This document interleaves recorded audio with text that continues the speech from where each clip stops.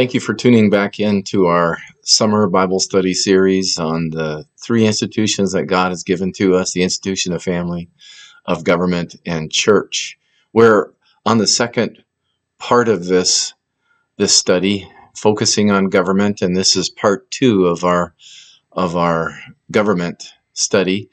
And we are continuing to go through the initial questions that help us set the table or frame what we're trying to do when we look at this this wonderful gift. Now, as we go through this section of this study, we're going to be still working on and understanding what we're talking about with regard to government, understanding some big pictures.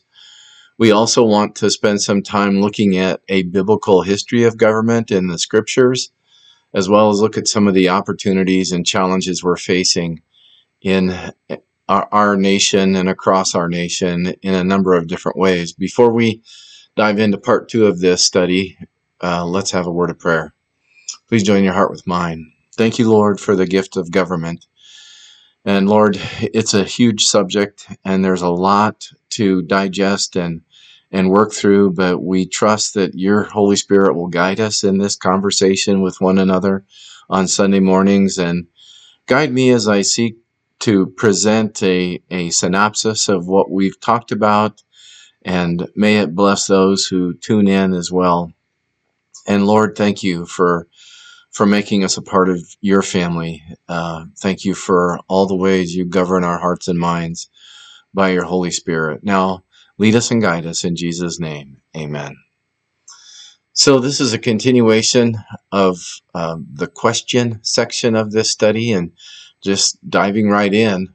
The, the fourth question has to with what are the three branches of our nation's government. And of course, um, there are three. The executive, which is headed by the president, there's the judicial, where the final say uh, moves to the Supreme Court on matters uh, in terms of legal decisions, and then the legislative branch, made up of both the Congress um, and and the Senate regarding the you know the the making of laws uh, for all kinds of reasons to to lead and guide us in in all kinds of ways to to govern our lives.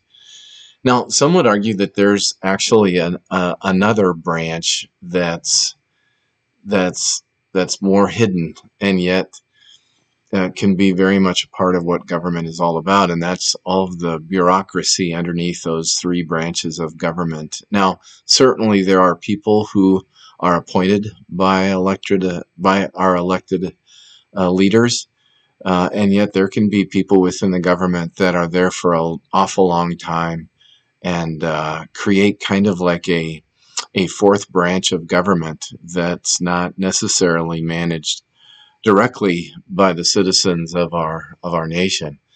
And and so as we think about each one of these, uh, there is a, a checks and a balances. It's supposed to we're supposed to see that that not one uh, branch of government becomes bigger or more bold than the other, and so there are checks and balances with regard to this.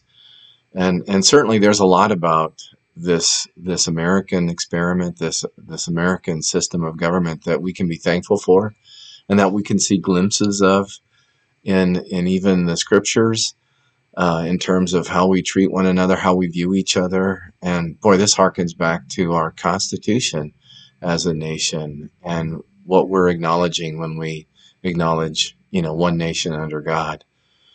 Um, but moving on to question number five what current governmental issues are alarming you? And um, so, so there were four that were identified, and perhaps I'll I'll acknowledge the four, and then we'll go back around to each. So there were four: the rise of socialism, as showcased by the Democratic presidential candidate. Um, number two, the rise of anarchy, as shown in riots.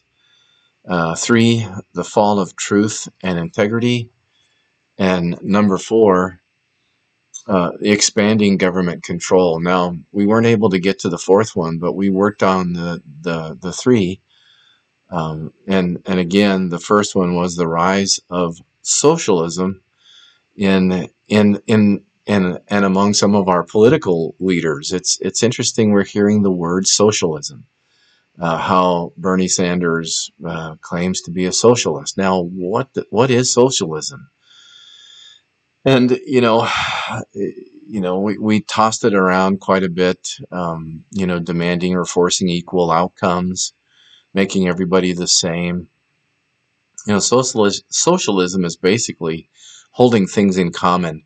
We we we all own the cow, so to speak. We we all own the land. We all and and certainly when I go out into the to the federal forest, I know that this land belongs to the United States citizen, uh, and and uh, you know because it's it's governmental land, and uh, and and so we see some glimpses of shared ownership and um, shared burden that goes along with that ownership, and that's why we pay taxes, and and that's why we we we um, do some of the things we do so that we can have uh, good roads and and whatnot.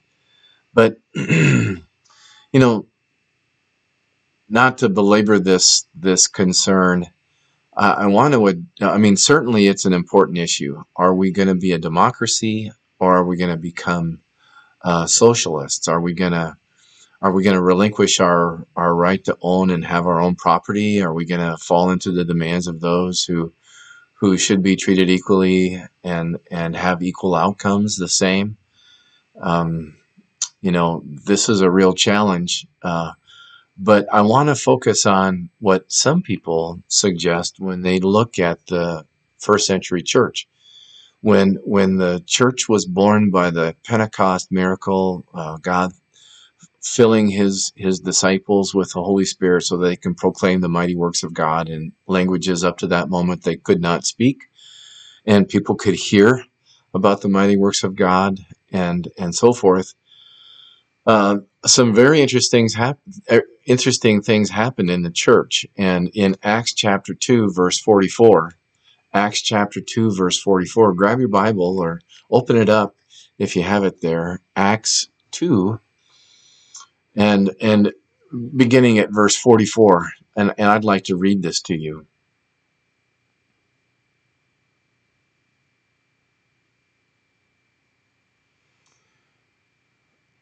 Now all who believed were together and had all things in common and sold their possessions and goods and divided them among all as anyone had needed. So they they held their their belongings in common. And and they gave as people had needs. And uh, and then Luke goes on to say so continually dealing with one accord in the temple and breaking bread from house to house they ate their food with gladness and simplicity of heart praising God and having favor with all the people. And the Lord added to the church daily those who were being saved. So it, it sounds like a very communal, socialistic um, form of government. But keep in mind, these are believers who have been converted by the gospel. And so now the governing agent within them is, is no one less than the Holy Spirit who has gathered them to each other, uh, given them a mind of love and charity and kindness, and, you know, it also gave a confirmation on this church as to having God's blessings. And it would also uh, put the stamp of apostolic authority on the apostles who were in charge of, of this of this church. Keep in mind, I mean, think about it. The, the church up to the Pentecost miracle was very institutionalized, was very powerful in, some ways, when you look at the New Testament, it looks like all the people who were tender to their own sin and their own struggles were driven out. It was a church of only the people that thought they were the best. It was uh, not a church of the misfits or a, a church where membership was for sinners only, but rather it was for those who actually did think they were better than others. And so when Jesus comes, he's rejected and he is crucified by both church and state. Uh, and when he rises and reveals his his proof of the resurrection and then ascends to heaven, ten days later, after his ascension, forty days after his resurrection, uh, pours out the Holy Spirit, and the New Testament church is born. And and it's a it's a church of of of of high class, low class, across the spectrum of sociology, and and in this we see God putting the stamp of approval on it, saying, Here is the church. And what's interesting is not long after this, and we don't know how much time transpires, but uh, we hear of of Ananias and Sapphira who who you know wanted to be a part of this benevolence and wanted to show that they cared about the people around them, and so they sold their property. They wanted to give the money to the apostles, but they they put together a show they they made it into a show. They were gonna uh, they were gonna hold some of the money back, and and and yet they said to the church that we've this is what we receive for it, and and they die, and and Peter says, look, it was within your power to figure this out, and so what's interesting is this this kind of government, this this kind of communal socialism where everything was held in common was was was was not very long lived. Uh, now, look, I've been a pastor for uh, 28 years, and and I've served in four congregations, and and I certainly have have have witnessed a number of people over those years being kind and bending over backwards, helping out people in need. I mean, as a congregation, uh, that's that's what brothers and sisters in Christ do. They care for each other. They help each other. I mean, even at St. Paul, we have a, a Christian care fund uh, called Helping Hands, where people give generously to help out fellow members. We even have a benevolence fund that helps people who are in need that are associated with us, but not necessarily members of our fellowship. So I, I can look uh, across the history of my pastoral ministry, and I can I can see a lot of different faces, and I can see a lot of different congregations that that that gave of themselves for the common good of the community, and and even even to the point where you know the membership of of this this congregation, for instance, St. Paul in Plano, Texas, we own together in common this this building, this property, uh, the Lord's offering. We are figuring out how to manage it and and and use it in such a way that glorifies God and serves His purposes for us. And so, you know, you can't rule it all out, but this is certainly a kind of government. But it's governed. We are being governed by the Holy Spirit. Something different has happened to us. This isn't a forced kind of socialism. This isn't a let's use other people's stuff until we run out of it and then we won't know what to do kind of structure and and so it's not it's not it's not accurate to suggest that that what we see in Acts chapter 2 is is is socialism in the way that some want to suggest. So moving on to the next one, the rise of anarchy is shown in riots. Now, we have the First Amendment right to, to lawfully assemble and, and so having a protest to exercise our freedom of speech are certainly civil rights. These are guaranteed to us by the Constitution, and we have the right to do this kind of stuff. But when a, a protest is, is co-opted by bad actors that want to riot or use it for a license to, to be lawless, to steal, to hurt others, then that's just that's just illegal activity. Uh, no one has the right to do that, and that's unlawful. The challenge is that it, it looks as if this lawlessness um, is is actually being overlooked by those who are supposed to be serving on our behalf for the common welfare of our citizenship, whether it be in a in a community or in a state, in a nation. And so, it's a challenge for us to to look at government that appears to turn a blind eye or show favoritism or or or become in a way un, ungoverning And, and so this is a real concern that we'll be addressing as we work into this. Again, we're trying to set the table to have kind of a, a, a shared picture of what's happening in in a you know in our government, and all we can do is look at our own nation and the kind of government we have. Uh, but that's the place to start. It'll also help us to see what's going on around us in the world that we live in as well.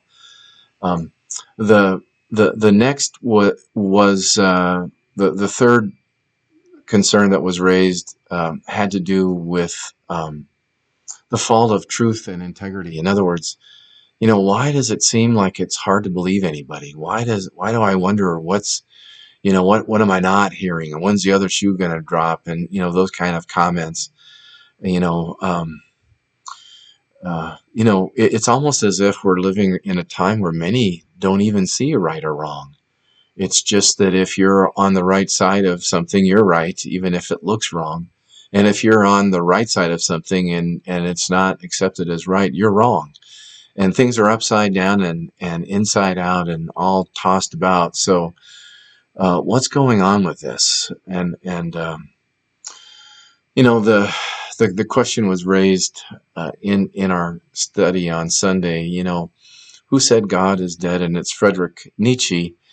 And, and, you know, there was a time after the Reformation called the the Age of Enlightenment, and it it was basically carried out, um, you know, in in the 18th and 19th centuries, uh, the 1700s and 1800s. 1800 it came to an end. Um, but but this idea of placing reason over God, reason over Scripture, in other words, I and my intellect can figure things out. And there were a lot of philosophers that really spent a lot of time thinking about and, and working through uh, philosophy in this age of enlightenment. And unfortunately, when, when the age of enlightenment came, then to think of someone who is superior or has authority over um, is is not a very acceptable thing. And so uh, Nietzsche, you know, argued that because we've come to the age of reason and we can scientifically figure things out, then it pretty much rules out the existence of God. And with the ruling out of existence of God, then there is no ultimate governor, there is no ultimate government. And so everyone can be his own kind of governor and have his own kind of government, or get together with a few others and share the same idea. So, you know, the, the challenge that we're seeing right now is, is perhaps even if it was in the enlightenment that many dethroned God, what we're seeing now is, is the cascading trauma of that. And um, we, we got to the end of our time Sunday, uh, just kind of laying out what's happening in a, in a big global picture.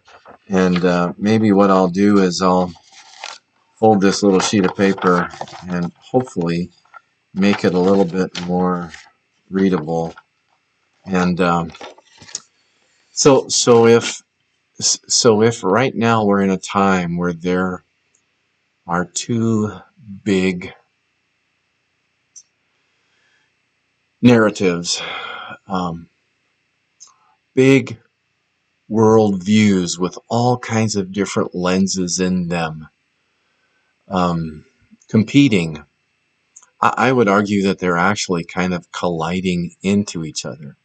So, ever since the Christian faith was declared legal in the Edict of Milan, and and um, Constantine became a Christian, the the Roman um, Empire said, well, Christianity can be can be tolerated.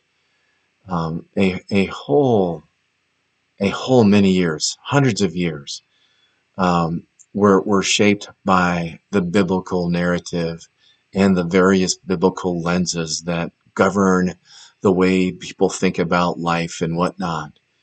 Um, but in time, then, and there would always be some some some pushback, and and you could see cultures not wanting to do that. And certainly, when we look at the history of the cultures, the nations around the world, there are a number of nations that have no biblical set of lenses at all. They, they have different lenses totally. But in the Western world, the world that we're a part of, our biblical narrative has been losing traction to what I call a, a libertine or liberal secular humanism kind of set of lenses. And so those those lenses, while the biblical narrative starts losing traction and the secular humanistic starts gaining traction, we're going to start to see some signs of that. And so in this little um, in this little model that I've given to you, I want you to, uh, if you've been able to print it out, you can just look at it.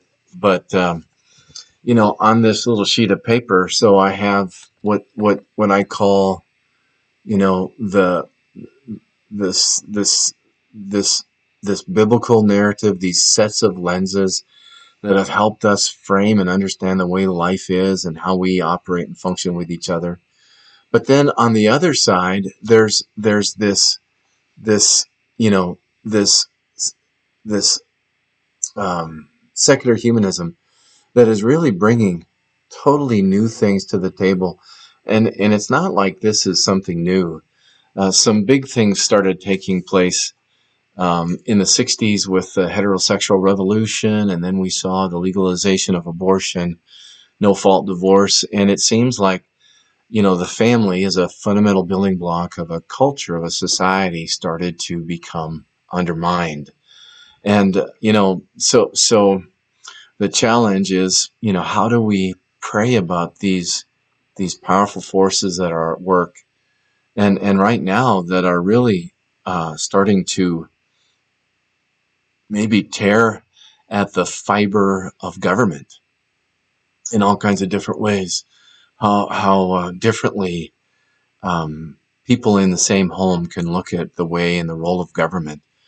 I, I'm convinced that we have all kinds of powerful civic lessons to learn. And and I think you know, boy, it, it's painful. It it it pains me to see some of the scenes of the riots on TV or to hear how differently our politicians are looking at things. And, and you can tell they're they're really looking at things from totally different lenses and mindsets and what that does. And you know the interesting thing that that I think about is I have a friend whose whose dad was murdered in a coup in a different nation. And um, it was a long time ago. And so they they uh, they they fled to United States in in the 70s, and and were given um, um, given protection. And and I talked with one of his friends who lives in this area of North Texas, and and um, I asked him, you know, in the last 150 years, how many times have you seen your nation go through redevelopment? And he said about six times. I mean, he just said it right away didn't even hardly have to think about it. I mean, this is painful stuff. So some some countries just just seem to be always in anarchy, where whoever's in charge can can can be in charge for a while and then loses power because of the abuse of power and whatnot. I mean, we have a lot to be thankful for as a nation. Certainly, there are challenges that that are are becoming more and more painful and more obvious that we need to pray about because the solution is is not in what we can do for ourselves. It's in God's mercy for us. So as as we as we continue this study please tune in and uh, join us on Sunday morning if you're able to. We're up in the fellowship hall and it's a bigger space so that there can be uh, social distancing. And the good news in our congregation we don't have anybody who's had covid. And uh, and so um, you know, uh, thank the Lord, uh, answer to prayers. But um, I think right now we need to close this study thinking about these huge forces that are at play right now in real time, every day, in, in and among us and throughout our culture. Let's ask God for mercy. Heavenly Father, thank you for the gift of our, our nation and, and the government we have and and all the different ways that it is to serve us and we are to serve it and and work together. Have mercy upon us for christ's sake. Don't treat us as our sins deserve but forgive and and and heal our nation. To your glory o god father son and holy spirit and for the blessing of the legacy that will will inherit um, this this wonderful nation and and way of life in our in our in our world. In Jesus' name, amen. Thanks for tuning in. God bless you.